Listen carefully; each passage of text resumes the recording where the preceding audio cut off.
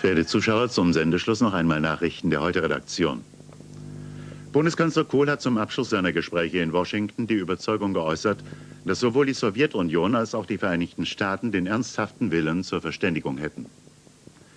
In einem gemeinsamen Kommuniqué forderten US-Präsident Reagan und Kanzler Kohl die Sowjetunion auf, sich um eine Verbesserung der Ost-West-Beziehungen zu bemühen und der Rüstungskontrolle einen neuen Impuls zu geben.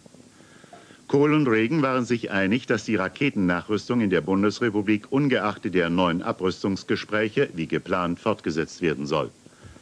Ein Stationierungsstopp komme erst dann in Frage, wenn konkrete Verhandlungsergebnisse vorlegen.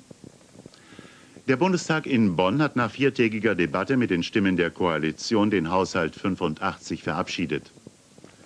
Er sieht Ausgaben von insgesamt 259,3 Milliarden D-Mark vor. Das sind rund 6 Milliarden Mark mehr als im laufenden Jahr.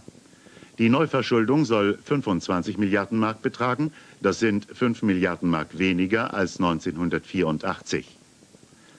An der Grenze zur DDR sind jetzt alle Selbstschussanlagen abgebaut. Der letzte Todesautomat wurde in der Nähe von Schwarzenbeek in Schleswig-Holstein entfernt. Durch die Anlagen wurden mindestens 50 Menschen verletzt oder getötet. In Polen sind zwei hohe Ermittlungsbeamte, die sich um die Aufklärung des Mordes an Pater Popieluszko bemüht haben, tödlich verunglückt. In einer offiziellen Erklärung des Innenministeriums heißt es, die beiden Fahndungsbeamten seien bei einer Fahrt mit ihrem Dienstwagen frontal mit einem Lastwagen zusammengestoßen. Nach ersten Feststellungen habe der Lastwagenfahrer den Unfall verursacht. Er sei festgenommen worden.